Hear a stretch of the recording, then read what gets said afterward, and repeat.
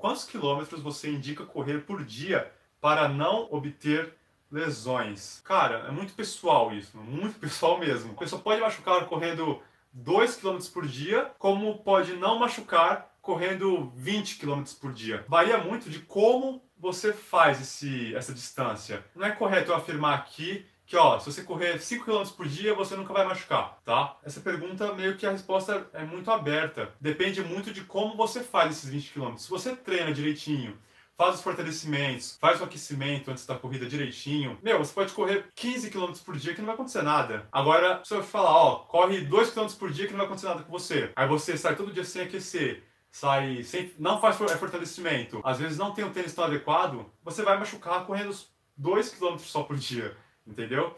Então, você tem que fazer o que é preciso ser feito fora a distância que você está fazendo. Os fortalecimentos, um bom aquecimento, também um alongamento, como você faz esses, essa quilometragem. Aí fica aberta, é ao seu critério, ou ao do seu treinador, ou do treino que você pegou.